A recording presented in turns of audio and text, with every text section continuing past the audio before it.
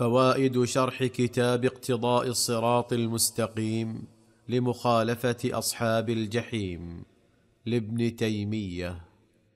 قال رحمه الله الطريق الأول أنه من طريقين لا تجوز موافقة في أعيادهم. هو ما تقدم من أن هذا موافقة لأهل الكتاب فيما ليس في ديننا ولا عادة سلفنا فيكون فيه مفسدة موافقتهم وفي تركه مصلحة مخالفتهم.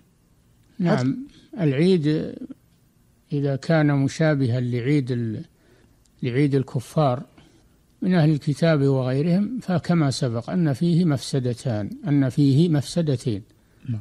مفسدة الأولى المشابهة وقد قال صلى الله عليه وسلم من تشبه بقوم فهو منهم فهذا يدل على تحريم المشابهة ومن ناحية أنه بدعة لأن الرسول صلى الله عليه وسلم قال من أحدث في أمرنا هذا ما ليس منه فهو رد. فمن أحدث عيدا ثالثا للمسلمين فإنه قد ابتدع في دين الله.